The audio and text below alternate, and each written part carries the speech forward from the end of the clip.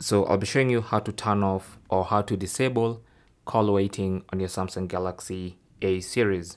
Now this could be the A14, A24, A34 or even A54.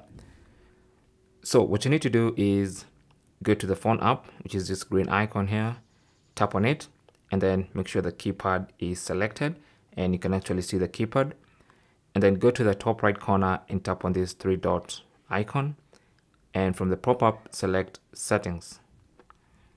On the call settings page, go to supplementary services, tap on that.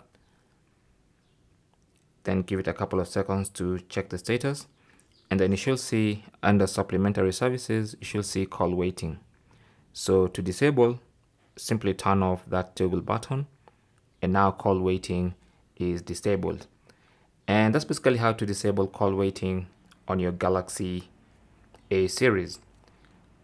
Thanks for watching. Leave your comments and questions down below and good luck